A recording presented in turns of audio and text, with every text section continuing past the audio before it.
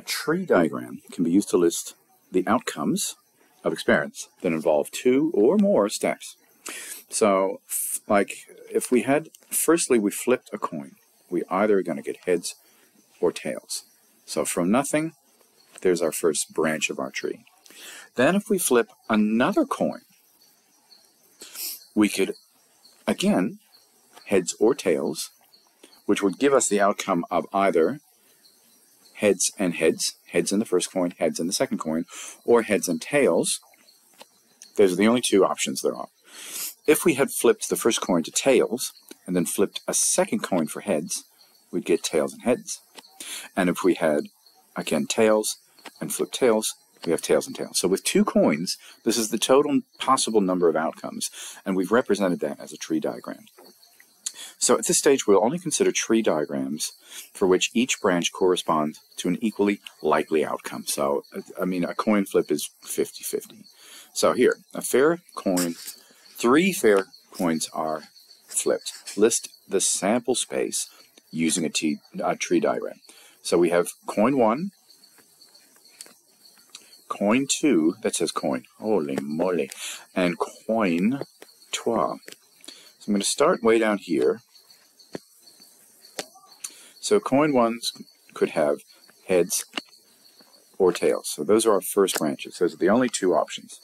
Coin two could have heads with heads or heads with tails. Or tails with heads and tails with tails. And then we have another coin. So we could have, the first coin could have hit heads. Oh, let's just let's just connect each of these. Heads with heads and tails, tails with heads and tails, heads with heads and tails, and tails with heads and tails.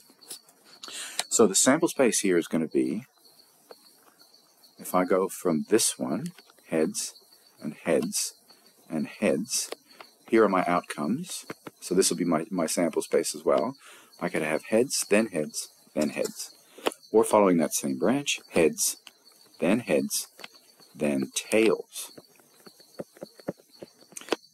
Then I still have heads at the start. Heads, then tails, then heads. Or heads and tails and tails. So that's the end of that branch. Then we'll get down here and start with tails. Tails and heads and heads. Tails and heads and tails. These are all the absolute possibilities in order. Remember, these are coin 1, coin 2, coin 3 tails and tails and heads. Tails and tails and tails.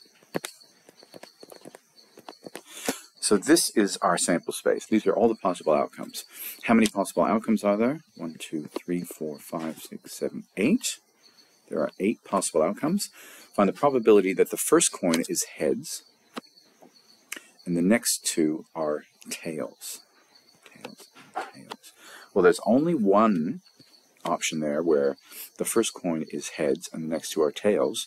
So that probability is a 1 in 8 chance. Now we'll find the probability that exactly two of the coins, exactly two of the coins show heads. Well, I'll put that in a box, shall I? Two of the coins. Oh, that's not exactly two. Hang on. That's not exactly two. That's more than two.